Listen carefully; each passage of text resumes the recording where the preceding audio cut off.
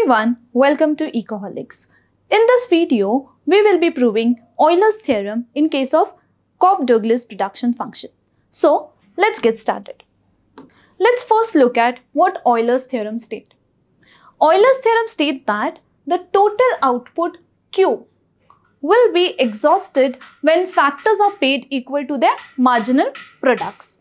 That is, what Euler's theorem states is when our wage rate will be equal to marginal product of labor and the rate of return on capital that is R when it is equal to marginal product of capital then our total output Q will be exhausted. Let's prove it. Before that Let's look at what Cobb-Douglas production function is.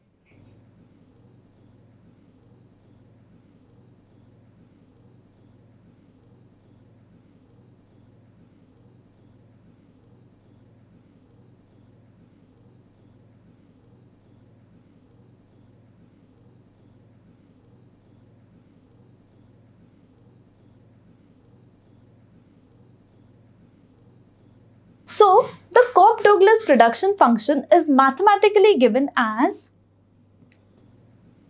Q is equal to A L raised to alpha K raised to beta. Now what is Q? Q is a manufacturing output. What is L? That is the quantity of labor employed. What is K? It is the quantity of capital employed and our three constants are capital A, alpha and beta. They are our constants. So this is what is Cobb-Douglas production function. Now what Euler's theorem states is when. So Euler's theorem is applicable when we have a linear homogeneous production function.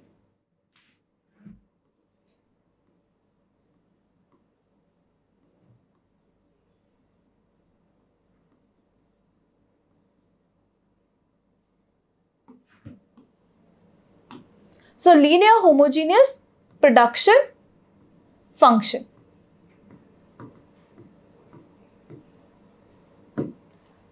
Now, in case of Cobb-Douglas production function, we say that this is linear homogeneous production function when alpha plus beta is equal to 1. So why is it so? Let's look at what a homogeneous production function is.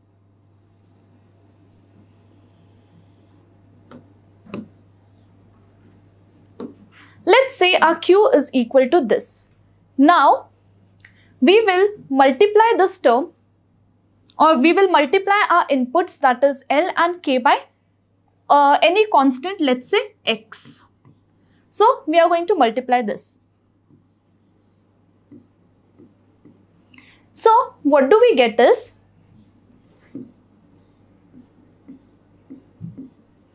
multiplying our inputs L and K by x.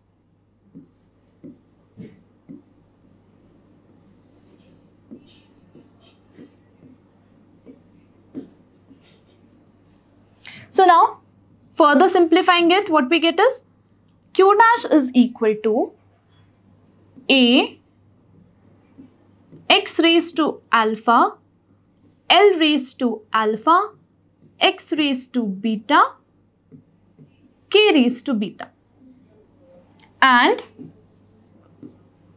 this is equal to a is constant and here x was also constant. So x raised to alpha and x raised to beta.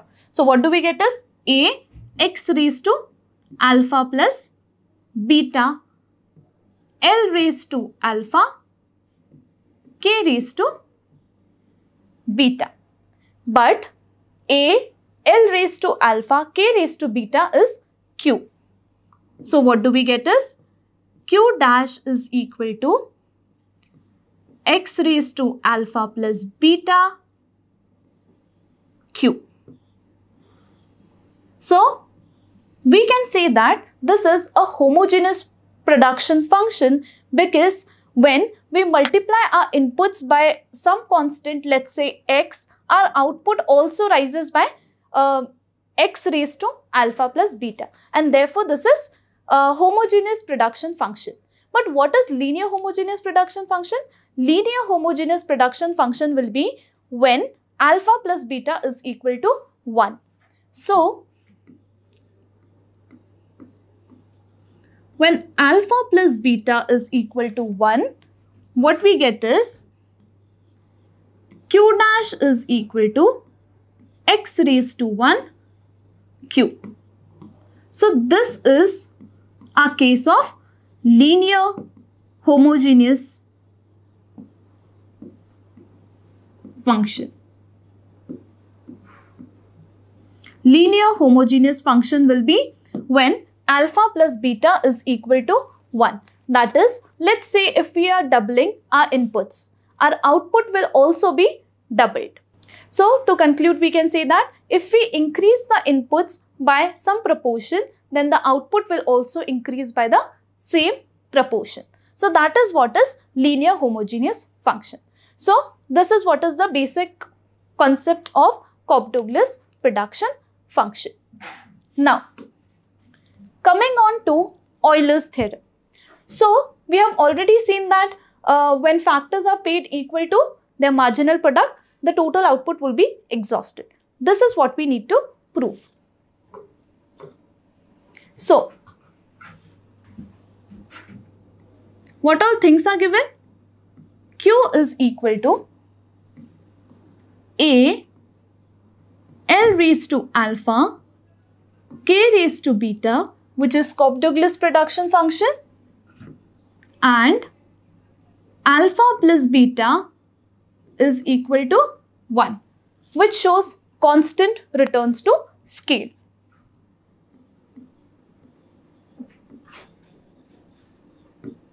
This shows constant returns to scale.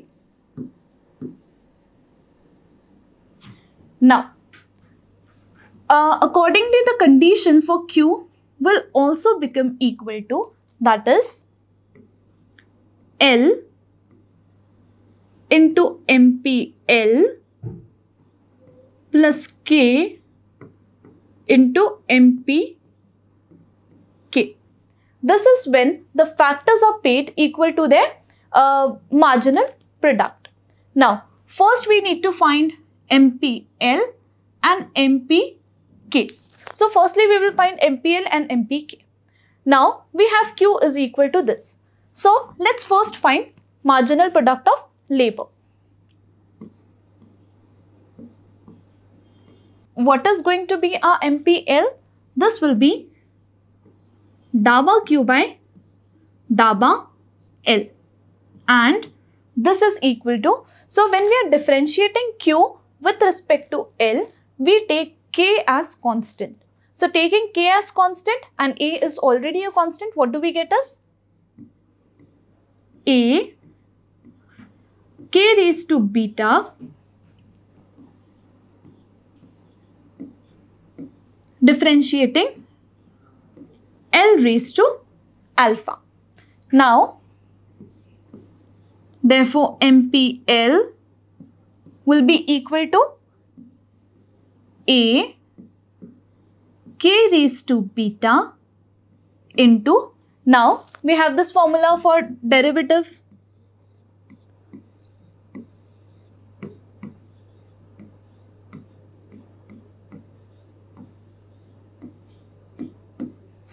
So using this what we get is, we get, so here in this case we have n is equal to alpha. So n is equal to alpha. What do we get is, we get alpha L raised to alpha minus 1.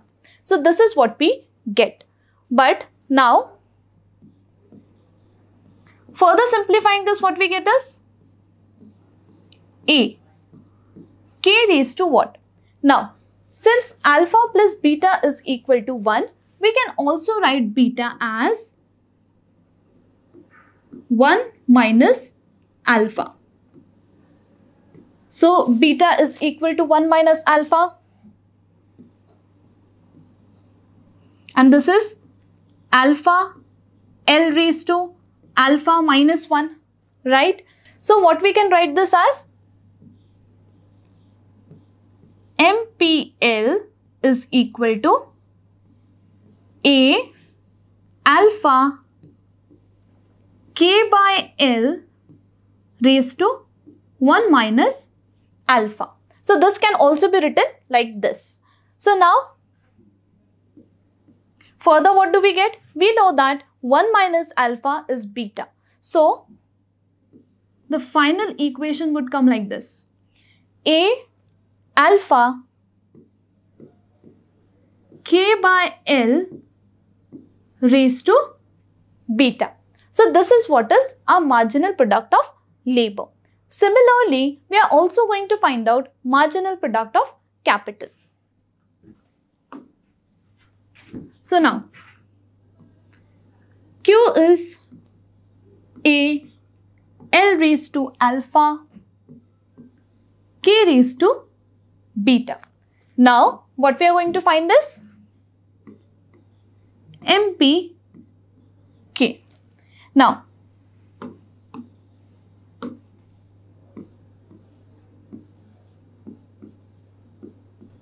MPK would be Daba Q by Daba K. Now, when we are differentiating Q with respect to K, we take L as constant. So, we have two constants that is A L raised to alpha. Now, we are going to differentiate K raised to beta.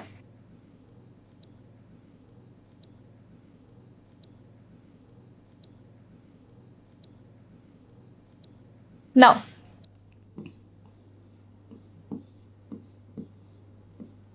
so what do we get as A L raised to alpha into, now K raised to beta, the derivative for this would be beta K raised to beta minus 1. And now Further simplifying this, what we get is A L raised to alpha beta and then k raised to beta minus 1. So we know that alpha plus beta is equal to 1. So now beta minus 1 would be beta minus 1 would be minus alpha.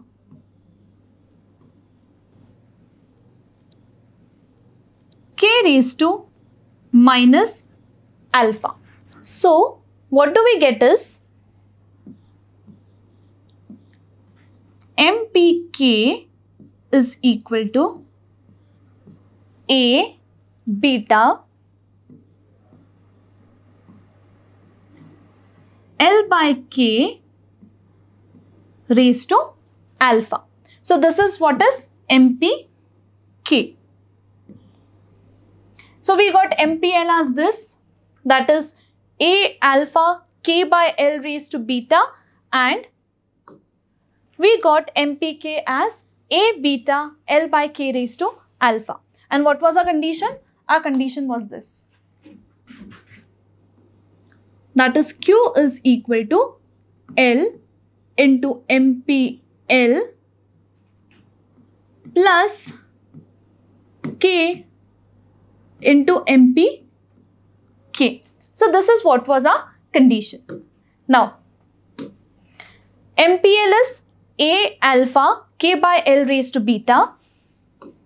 I'll write this over here.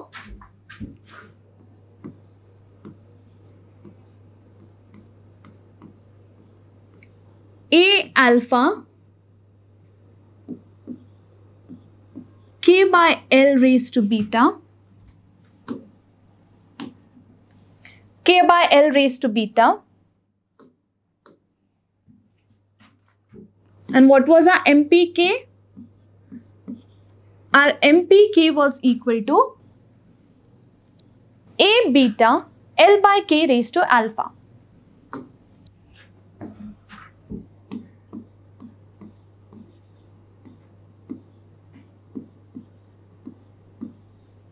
So now, substituting the values of MPL and MPK, let's find out what is our Q. So now,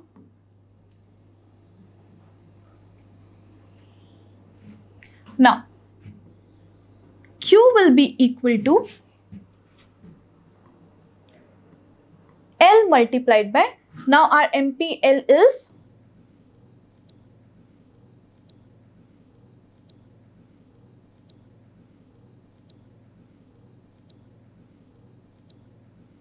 A alpha K by L raised to beta plus then we have K multiplied by what is our MPK? That is A beta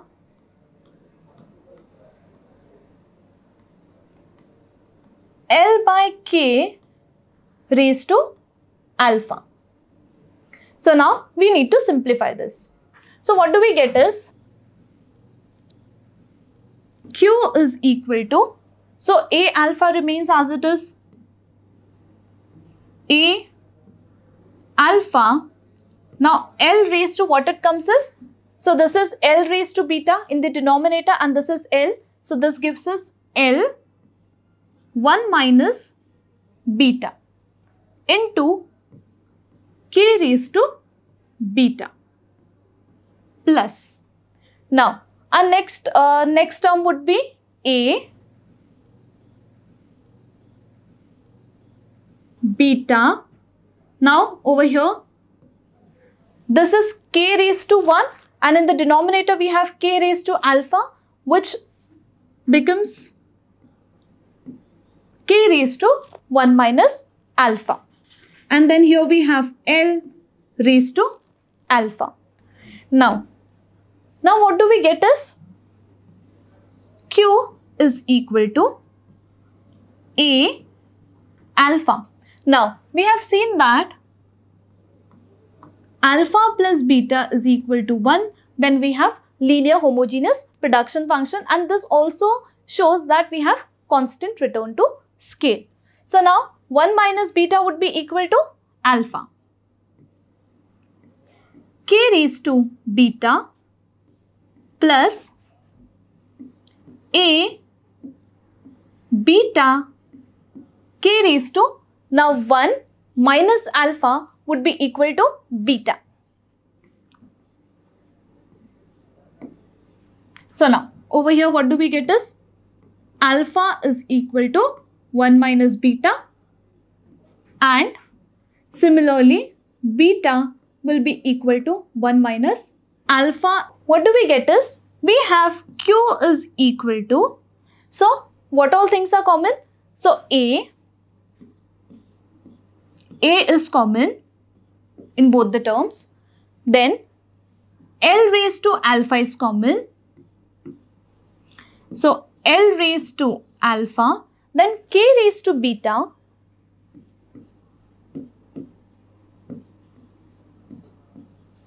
and then what remains is alpha plus beta.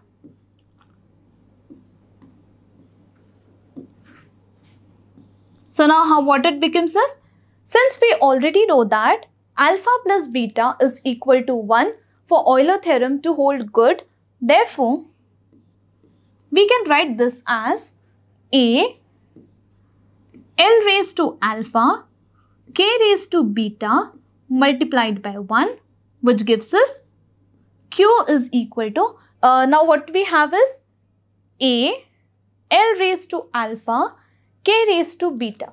So this is our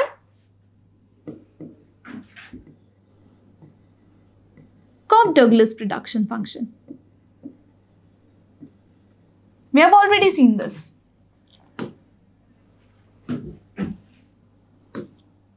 So, our Cobb-Douglas production function is this. And here also we get same. So this means that our Q is equal to Q. And thus our Euler's theorem is proved, which states that which states that the total output Q will be exhausted when the factors are paid equal to their marginal product. And this completes a proof of Euler theorem. For more such videos, do like and subscribe our channel. Thank you.